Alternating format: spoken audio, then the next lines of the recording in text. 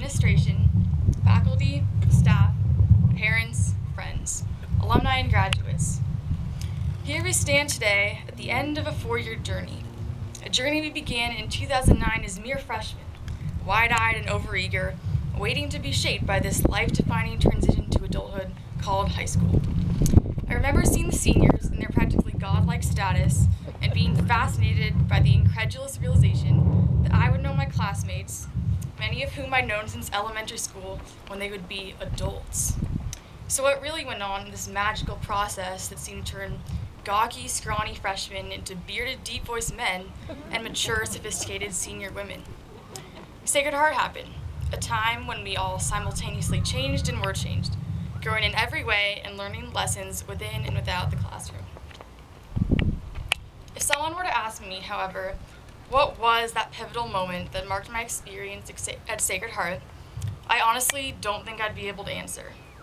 For me, and I'm sure many of my classmates, there is no single defining moment that characterizes my entire high school experience. Rather, it's often the mundane shared memories that serve as puzzle pieces to, create the bigger picture. To quote John Lennon, life is what happens while you're busy making other plans. And as we lived out the everyday experiences without a second thought, we suddenly realized that high school had happened, that we were graduating.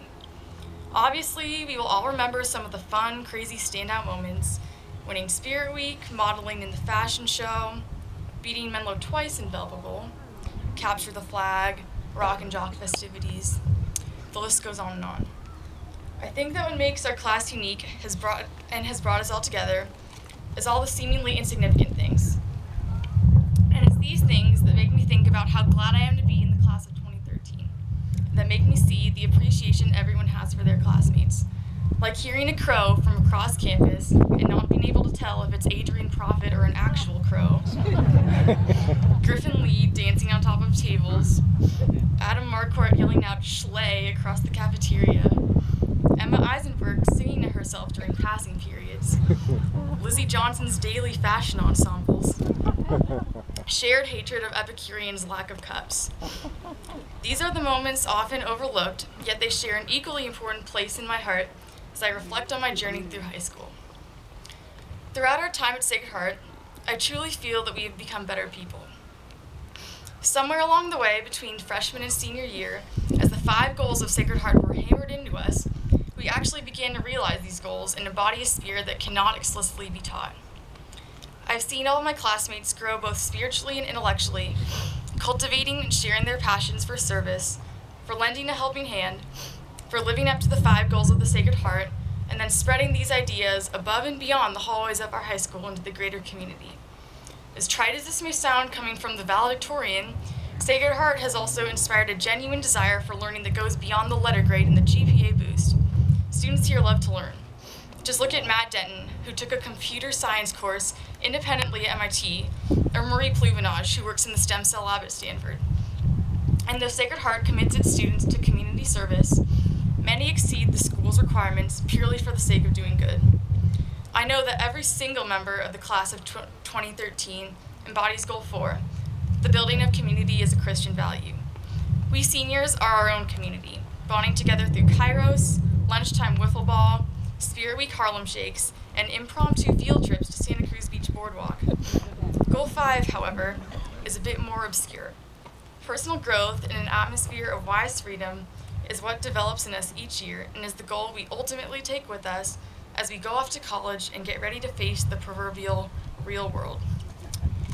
This is the goal that guides us to live out the values of Sacred Heart when there's no one telling us to, the goal that inspires us to make good decisions, and, more importantly, to be good people when the choice is ours and ours alone, away from the comfortable bubble of Atherton. And I think, Sacred Heart, that you have indeed readied us to enter, to enter the world as adults, in spite of the fact that at 18, we really are just overgrown kids. So, I would like to say thank you. Thank you to the school for providing all of us with a truly one-of-a-kind education that never failed to exceed expectations. Thank you to all the teachers, first of all, for even having to deal with high schoolers, for putting in your time and effort for each student and genuinely caring, and for inspiring us to seek knowledge outside the classroom. Thank you to all the parents and families for being our rock, our ultimate support system throughout all the ups and downs of high school, and for being there when we needed you and knowing exactly when we didn't.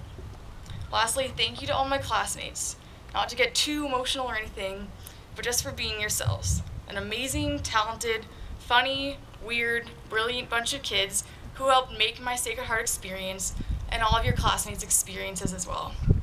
It's been an unforgettable four years full of countless crazy, one of a kind moments that I know we will all look back on with a smile. In closing, I wish the class of 2013 the best as we go on to bigger things and prepare ourselves to be shaped by a whole new set of experiences. Our journey at Sacred Heart, for some four years, for, for others 14, may be coming to a close, but a new one has already begun.